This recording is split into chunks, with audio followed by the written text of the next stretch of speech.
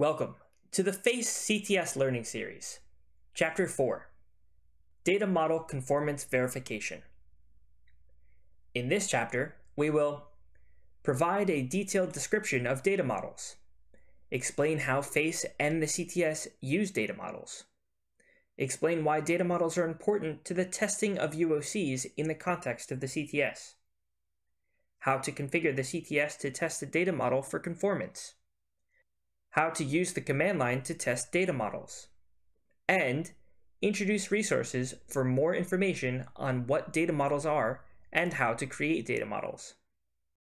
In previous videos, we briefly introduced data models as it pertained to the operation of the CTS and where to insert the FACE Shared Data Model, or SDM, and UOP, or Unit of Portability, Supplied Model, or USM. Although we will expand on these topics, the creation and an in-depth analysis of data models is beyond the scope of the CTS learning series.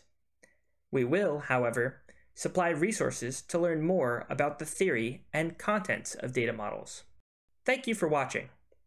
In the next video, entitled Data Model Conformance Verification Overview, we will provide necessary information for understanding the theory of data models, explain how FACE and the CTS use data models, and explain data models in the context of the CTS.